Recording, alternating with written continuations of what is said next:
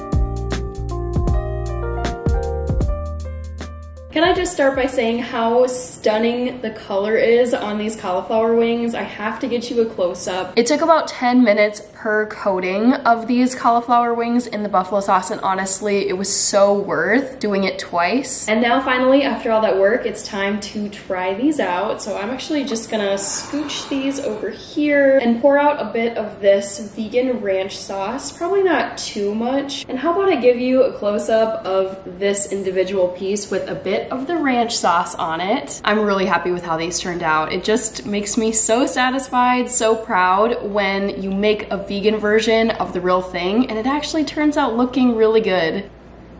Mm.